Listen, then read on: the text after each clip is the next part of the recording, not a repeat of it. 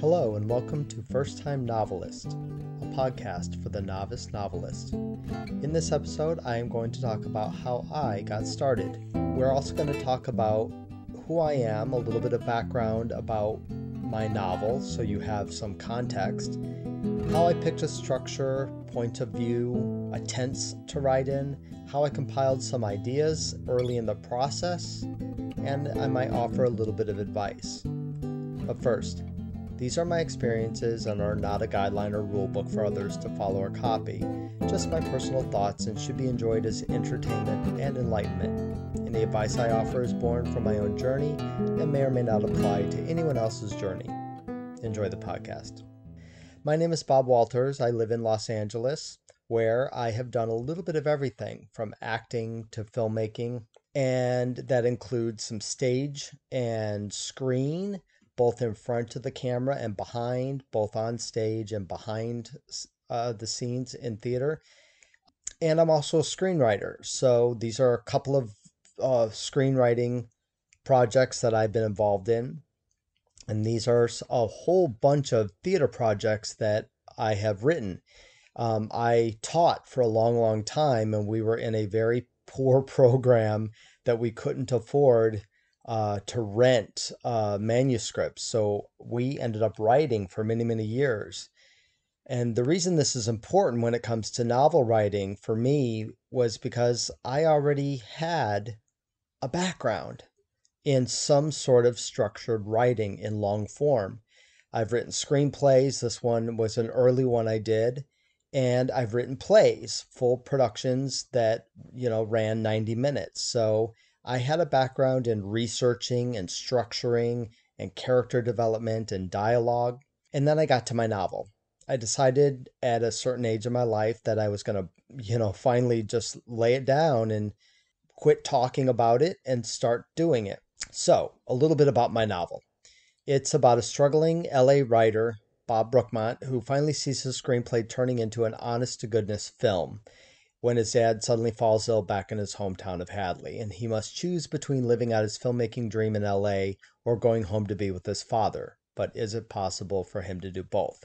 Well, obviously, it's a little bit autobiographical, um, but it is a complete work of fiction. And that gives you a little bit of background as I talk about structure and point of view and some ideas. How I chose a structure really just goes back to freshman English class, the hero's journey. I already knew the hero's journey from years and years of college and graduate school, but then I also knew screenplay structure, which the hero's journey as well. And I knew all this. These were inherent in my writing skills before I even got to writing a novel. So, how did I choose a structure? Well, if you look at the second line there, the romantic lead pursues goals and tantalizes hero. I chose the hero's journey structure, literally just broke it down into parts and underlined it and threw it inside of my chapter headings, and I just followed it. Chapter 8 Bad guy does something vile to get the upper hand. Chapter 9 Bad guy has new plans worse than before. But you're saying to yourself, well, your novel doesn't sound very thrillerish or mystery-ish. And you're right, it's not. So the bad guy lays new plans for me was very, very subtle. And my novel is very much not high drama. But I still have a bad guy, and the bad guy still lays new plans in chapter 9. So I was very faithful to following my structure for the ending, chapter 12, bad guy gets the upper hand, reveals his plan, and disasters at the end of the chapter, and an ultimate ruin for our hero.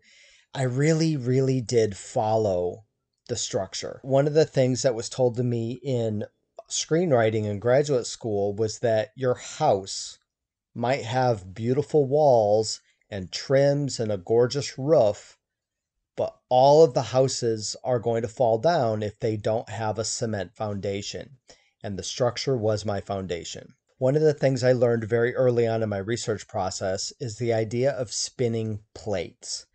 And I use this in my mentality when I'm writing. How many plates, how many pieces of drama are spinning in my novel at any given time? And the more plates you spin, the more uh, the audience is going to latch on to a character and try to overcome, you know, each dilemma. Now, my dilemmas in my novel, it's about filmmaking, are subtle. They're not overt. Like I said, it's not a murder mystery, but I do have a lot of emotional plates spinning, as well as some timeline plates spinning. I taught myself all this. Uh, average lengths of scenes, total word counts, total numbers of scenes. But that's not what this podcast is about, really. Because um, you can learn all this by doing a quick Google search. And I did do all of this when I was, you know, starting off my novel. I really just took my own structure, and here's my part of my structure here, and just did it. Like I just started writing down words. Um, and followed that structure inherently. And I came up with all my chapter titles early on. And I slugged in some things underneath each chapter, which I'm going to talk about here in just a minute. So I had a, a sense of where my novel was going. Did I outline anything? No. I did it this way. Once I picked my structure, I moved on to point of view and tense. Well, I came from screenwriting and screenwriting is first person present tense. A gunshot echoes. Jimmy flies backward, blood squirting out of his chest. I knew first person was how I learned to write. Spiral of roads circle the hilltop, two rows of massive sleeping tents. Everything in screenwriting is super, super short. Well, that does not work for a novel. Novels are about elongated passages that have gr- great details in writing. But then when I thought about my story being about filmmaking, I thought, well, why can't I do first person present tense? My opening I am a middle child. Both of my parents are middle children, and I am the middle child of two middle children. And it was easy for me. So I really did choose present tense first person but anybody who has read novels knows that first person present tense is really, really hard because if it doesn't happen in front of your main character, you cannot write about it. right? So you're very limited into the types of scenes that you can put together into your novel because you can't just cut away to another scene thousands of miles away or in a different room because that character uh, your main character, your hero character, isn't going to be there to see it. That's what I chose for my point of view intents. How did I compile ideas? Well, I was blogging before blogs were blogs. Um, I did these mass emails when I moved to LA that that had these great little stories about, you know, in this case, my uh, one of my films back in 2002. Um, uh, this is a blog kind of I did for my friend Richie who died.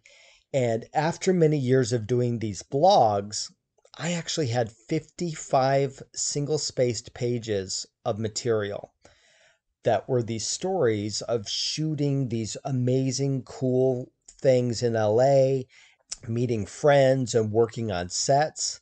And people said to me, you know, you really should turn these into something. And that's how the idea of Hadley, my novel, started. But then, even with 55 pages of single spaced, I still needed other ideas that were just words. I took a notebook and was riding around the metro and just wrote stuff down. Uh, for instance, even the homeless guys in the valley have great bodies. I just love that line. Um, I wish I had as curly hair as that guy. I've never seen a Mexican with an afro before. And these were just little things from my life that I thought might make it into my novel, might make it into some uh, idea that I had already embedded into my structure. You know what you don't have in LA? Fat people. That's my five year old nephew on his first visit. I literally compiled my ideas for like almost two years and then I put numbers to them. So if you remember my structure, I already had kind of a structure set up that was 12 chapters, and I just started applying numbers to these ideas that I had. And then if you look here, my chapter 8, this is an early version of it where the bad guy does something vile to get the upper hand. And I have two ideas right there. One of them is I inherited several things from my dad perfect eyesight, the ability to drink copious amounts of coffee right before going to bed.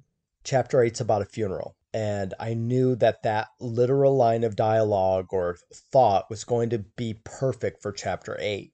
Didn't always work out that way, but that's that's what I did to make sure that I had content for chapter 8. Now, for the first time novelists out there, any advice I can give? Well, it's simple.